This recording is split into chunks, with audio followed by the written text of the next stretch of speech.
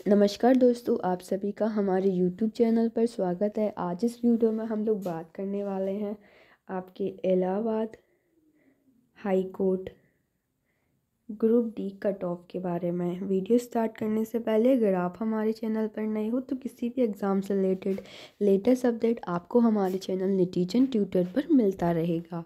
तो आज हम बात करने वाले हैं आपके Allahabad high court group D cut off के बारे में। तो जैसा कि आपको पता है, आपका जो एग्ज़ाम था, सत्रह दिसंबर को एग्ज़ाम कंडक्ट करवाया गया। यहाँ पर अगर दोस्तों हम अटेंडेंस की बात करें तो अटेंडेंस भी यहाँ पर इस बार काफ़ी अच्छी देखने को मिली है। सेकेंडली दोस्तों, इसमें जो आपके क्वेश्चंस आते हैं, total number of hundred questions यहाँ पर पूछे जाते हैं, हंड्रेड मार्क्स के। और इसमें आपके चार सब्जेक्ट आते हैं। आपका हिंदी आता है, इंग्लिश, जीके और साथ ही आपका मैथ।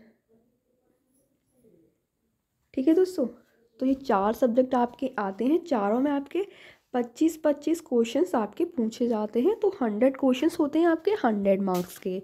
वन बाय फोर के यहाँ पर आपका नेगेटिव मार्किंग होता है।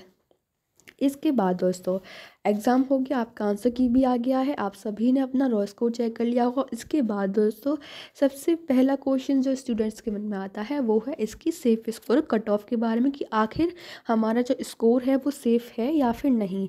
तो इस वीडियो में आज हम कैटेगरी वाइज सेफ़ स्कोर के बारे में बताने वाले हैं। तो फर्स्टली दोस्तों, हम बात करेंगे आपकी जनरल कैटेगरी से। तो जनरल कैटेगरी से अगर आपका स्कोर सेवेंटी फाइव प्लस है तो आप बिल्कुल सेफ़ हैं। आप बिल्कुल अपने स्टेज टू की तैयारी स्टार्ट कर सकते हैं, बिल्कुल फ्री माइंड से कि आपका C B T one clear हो जाएगा। सेकेंडली दोस्तों, जो बात आती है, वो है आपकी ई डब्ल्यू एस की। तो अगर आप ई डब्ल्यू एस कैटेगरी से बिलोंग करते हो तो आपके लिए जो सेफ़ स्कोर रहने वाला है सेवेंटी थ्री प्लस बिल्कुल सेफ़ स्कोर है। थर्डली हम बात करेंगे ओबीसी की। अगर आप ओबीसी से बिलोंग करते हो तो आपके लिए सेवेंटी टू प्लस बिल्कुल सेफ़ स्कोर है। एससी के लिए जो दोस्तों आपका सेफ़ स्कोर रहेगा, वो रहेगा आपका सिक्सटी नाइन प्लस एसटी के लिए भी लगभग इतना ही रहेगा।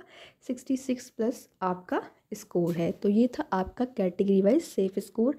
अगर आंसर की में आपका इतना स्कोर बन रहा है तो बिल्कुल आप अपने स्टेज टू की जो प्रिपरेशन है, स्टार्ट कर सकते हैं। इसके बाद हम बात करेंगे दोस्तों आपके रिज़ल्ट के बारे में कि स्टेज वन का जो रिज़ल्ट है आपका कब आउट हो सकता है। तो हाईली एक्सपेक्टेड है कि जनवरी के लास्ट वीक में आपका स्टेज वन का जो रिज़ल्ट है वो आउट हो जाएगा। जी हाँ दोस्तों जनवरी के लास्ट वीक में आपका स्टेज वन का exam out sorry stage one का जो रिज़ल्ट है आउट हो जाएगा। साथ ही मैंने कट ऑफ़ बता दिया है तो इस कट ऑफ़ के बाद आप अपने मेंस की जो प्रिपरेशन है स्टेज टू की स्टार्ट कर सकते हैं।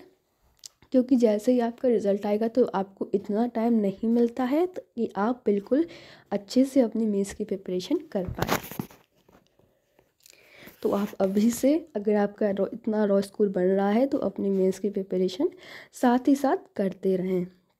तो दोस्तों, वीडियो में इतना ही। वीडियो इन्फॉर्मेटिव लगा हो तो वीडियो को लाइक करें, शेयर करें और इसी प्रकार की अपडेट पाने के लिए या फिर किसी भी अदर एग्ज़ाम से रिलेटेड अपडेट पाने के लिए आप हमारा चैनल नेटिजन ट्यूटर सब्सक्राइब कर हमारे साथ जुड़ सकते हैं।